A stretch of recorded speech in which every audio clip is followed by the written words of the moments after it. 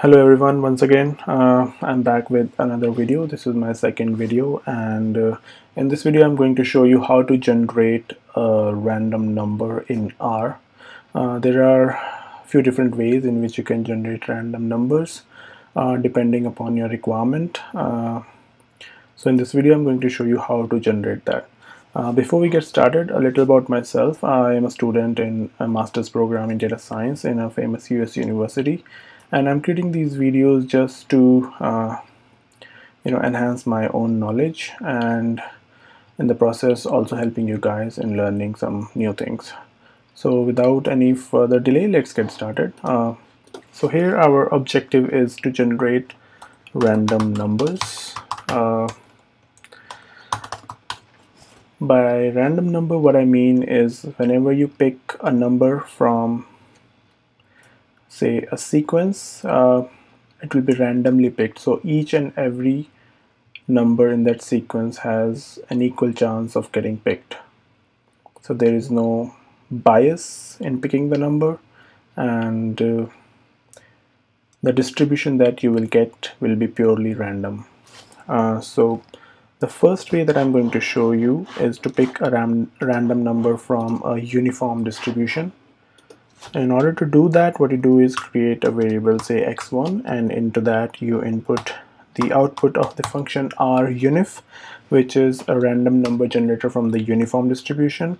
From here you sample thousand values and with a minimum value of say 0 and a maximum value of 1 so between 0 and 1 it will give you 1000 values randomly picked from that uh, interval so if you see x1 all these values are randomly picked. If you plot x1 you'll see this random randomly distributed uniformly distributed random numbers. Uh, this is the uniform random numbers. Uh, this might be the uh, these might be the ones which you will use the most. Uh, another popular random number generator is norm function. So it will give you normally distributed random numbers. So I'll show you what does it look like. Uh, so normal random numbers. So uh, let's say normally distributed random numbers. So the way you do it the way you do it is by using a rnorm function. So you do rnorm sample thousand values again now this function needs different parameters so if you press tab you'll see what parameters you need to give. So n you have already given as 1000 mean you put in as 0 and standard deviation as 1 so mean of 0 and standard deviation of 1 is the standard normal distribution. So from the standard normal distribution you'll get 1000 numbers returned and stored in x2 now if you plot these x2s you'll see they are more clustered around the zero line and less away from the zero line. So let me add the let me add a line at the zero point uh, by using abline function.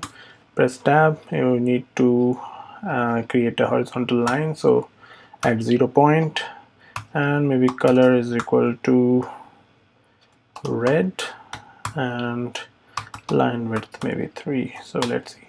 So this is your zero line and you see all these values are more closer to zero most of the values and a few values are away from it. So it's normally distributed. Another good way to see that it is normally distributed is if you add to this plot function a density calculator for these x2s so using dnorm and you press this you see this normal curve a popular bell-shaped curve. So this is the way you get uh, normally distributed random numbers. Another way uh, if you have if you want to generate random numbers from an integer sequence you can use a function called sample. So let's try that. Uh, let's create a variable x3 in which you output uh, in which you put the values of the sample function. So sample from 1 to 1000 how many values you want? Say 10 so you get 10 values here. Print them here. As you can see down here in the console these 10 values are randomly selected from this sample. Uh, another good way is to sample I mean randomly select some values from a list so if you have a list of say example uh, companies and you have a vector of companies here Apple, Samsung, HTC and HP and Lenovo okay? So we have five companies in here. Command enter and let's sample two random companies from this list. So just use sample function input the list and say how many randomly picked values you want from this list. So it will give me HTC and Samsung. If I run it again it will give me Apple and HTC so every time you run it it will give you randomly selected values. So use of random numbers is very important in statistical analysis as well as machine learning and this is a very basic step of uh, you know uh, getting random numbers uh, in R.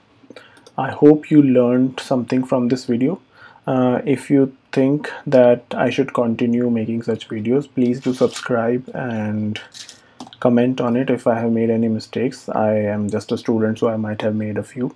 Uh, so thank you for watching and see you in the next video. Cheers. Bye bye